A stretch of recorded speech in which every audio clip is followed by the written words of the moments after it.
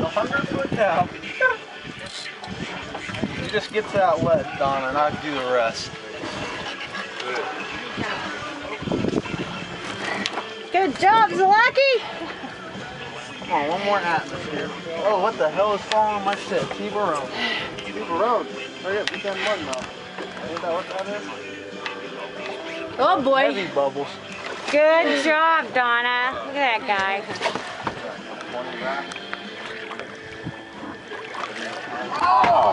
Man.